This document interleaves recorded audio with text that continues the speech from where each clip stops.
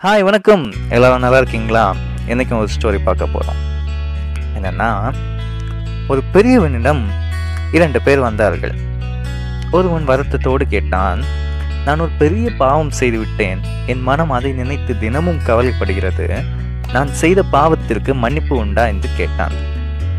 அடுத்தவன் அதே பெரியவரிடம் கேட்கிறான் நான் இவரளவுக்கெல்லாம் பாவம் எதுவும் செய்யலை. சின்ன சின்ன பொய்கள் சின்ன ஏமாத்துகள் இப்படி நிறைய செய்துள்ளேன்.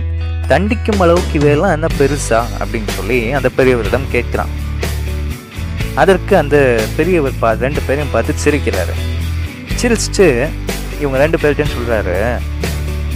முதல் ஆளிடம் என்ன சொல்றாருன்னா நீ போய் பெரிய பாறைக்கல்லை வந்து தூக்கி வா என்று சொல்லி சொல்லுகிறார்.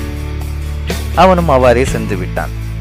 ரெண்டாம் உள்ளவனிடம் அவர் சொல்கிறார் இந்த கோணி நிறைய சிறு சிறு கற்களை எடுத்துக்கொண்டு நிரப்பிக்கொண்டு எடுத்து வா என்று கேட்கிறார். இவனும் அவ்வாறே சென்று விட்டான்.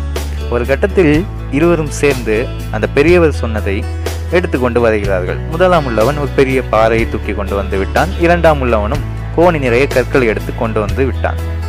இப்போது அந்த பெரியவர் இவர்கள் இருவரை பார்த்து சொல்கிறார் இருவரும் தாங்கள் இந்த பொருட்களை எங்கிருந்து எடுத்தீர்களோ அப்படியே கொண்டு போடுங்கள்.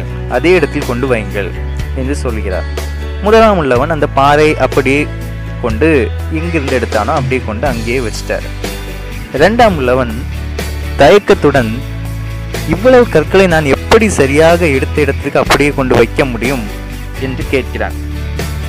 உடனே அந்த பெரியவர் சொல்கிறார் முடியாதல்லவா அவன் பெரிய தவறு செய்தான். அதற்காக வருந்திய அழுது மன்னிப்பு கேட்டு அவன் மாற்று பரிகாரம் செய்து அவன் மீட்சி அடையலாம் என்று சொல்லிவிட்டார்.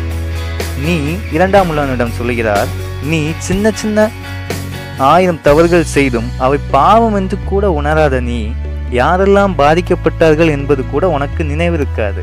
அவனுக்கு மீட்சி சுலபம் உனக்கு தான் மீட்சி என்பது மிக கடினம் என்று இவனை பார்த்து சொல்லுகிறார். அதாவது சிறு துளிகள் பெருவெள்ளம். தேங்க்யூ